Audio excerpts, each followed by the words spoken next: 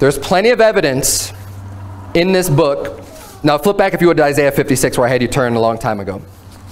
There's plenty of evidence in the scripture that talks about someone being rejected. And it makes sense. I mean, if you think about, we already talked about the blasphemy of the Holy Ghost. We didn't turn there. But the Bible says that if someone blasphemes the Holy Ghost, they ask never forgiveness. You can't be forgiven of that. So if you have no forgiveness, then that's someone who's damned. I mean, if someone commits that sin, from that moment, they're rejected. But think about this, that's not the only sin. In Revelation, at the very end of the Bible, the Bible says if anyone adds to or takes away from God's word, he says that I'm going to add the plagues that are written uh, you know, in this book unto him, and I'm going to remove his name out of the book of life.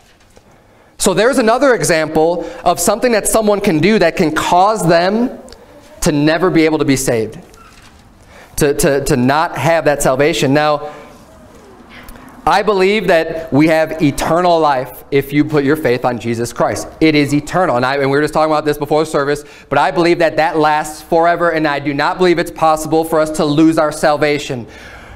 So, in order for the Bible to be reconciled as a whole, when you look at these verses, I believe that it's impossible for someone who is already a believer to, to either blaspheme the Holy Ghost or to uh, take the mark of the beast, because that's the third thing that the Bible mentions specifically, that those that take the mark of the beast, they're going to be cast in the lake of fire. Everyone who takes the mark of the beast and worships his, his name, they're going to be thrown into the lake of fire. So I believe it's impossible for, uh, or for a, a believer to alter and tamper with God's word.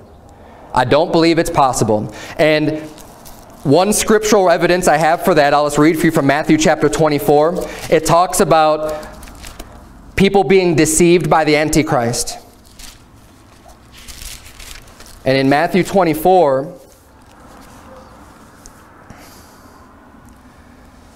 the Bible says in verse 24, For there shall arise false Christs and false prophets, and shall show great signs and wonders, insomuch that if it were possible, they shall deceive the very elect. So the signs and the wonders that these false Christs are going to be showing, he's saying, is going to be amazing. It's going to deceive the whole world. But And it's so amazing that if it were possible, they should deceive the very elect. Meaning that it's not possible for the elect to be deceived. To be the, the believers, you know, those that are saved, to be deceived by these false Christs. It won't happen because it's not possible. So there's one example of something that's it's not possible for, just as much as not possible for a person to be deceived by an antichrist, that's why it's not going to be possible for them to take the mark of the beast because they're not going to be deceived by it. They're not going to take it.